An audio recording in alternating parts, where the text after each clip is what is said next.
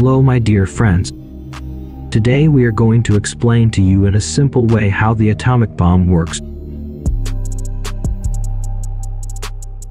If you can get the enriched plutonium from the Diggy goods and the Wunderson root, you are almost more than halfway to making the atomic bomb. In 1905 Einstein presented a famous equation. E equals mc 2.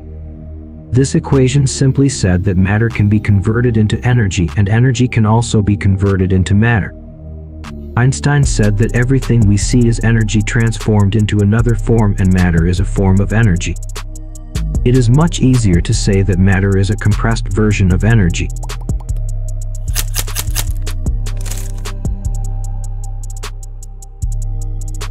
In order to understand this issue better, we go to more concrete issues, I will give an example.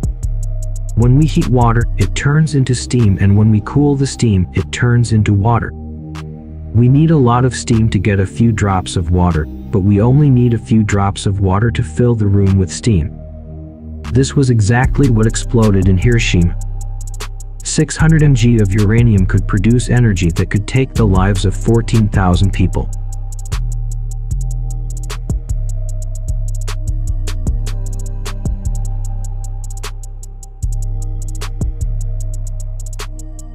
But converting matter into energy is not as simple as we think. The sun does this naturally, two hydrogen atoms combine with each other and the process of nuclear fusion does not happen, and after that a helium atom and a lot of light and energy are released. But it is not easy to create such an environment on Earth. For this reason, in the past, the atomic bomb was made by nuclear fission for the first time. What does nuclear fission mean?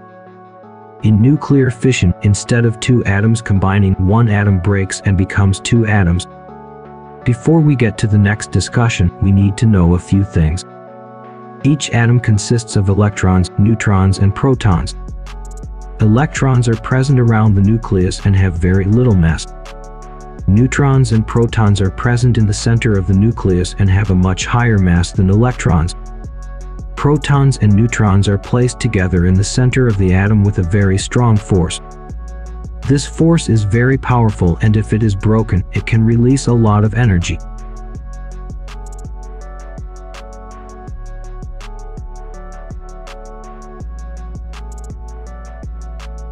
Now we return to the main discussion.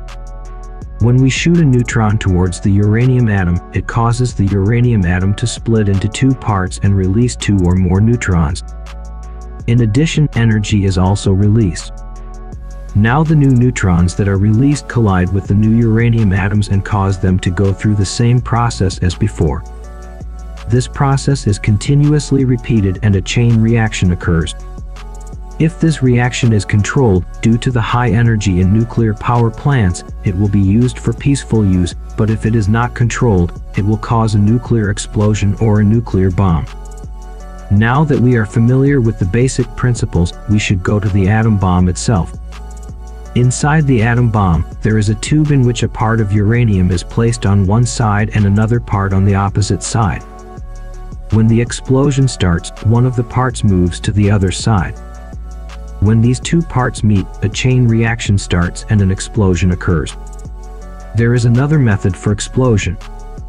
In this method, explosive materials are placed around a pit. When these materials explode, force pushes the pit and causes the uranium to explode and create a chain reaction. Explosives must be placed exactly in such a way that they explode at the same time and the resulting waves must be exactly spherical in order to reach the bomb at the same time. After this incident, the atomic bomb starts to explode. But what remains is what is uranium-235 and how is it obtained and why should this type of uranium be used in atomic bombs?